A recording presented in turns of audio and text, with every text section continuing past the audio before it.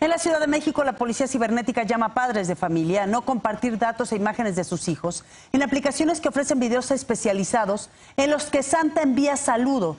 Se informa sobre algunas extorsiones de hasta 10 mil pesos a cambio de editar, de no editar esos videos y transformarlos en videos con contenido sexual.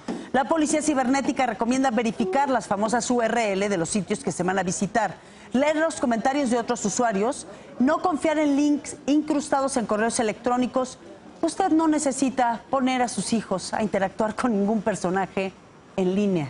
No es necesario en este momento de tantas extorsiones. Hola, Pedrito. Me da mucho gusto verte. Estaba dando un paseo por el Palacio de Hielo mientras uno de mis duendes alimenta a los renos. Les estaba dando unos líquenes mágicos. Eso es lo que les permite volar. En cuanto hayan terminado, haré una sesión de vuelo de práctica con ellos alrededor.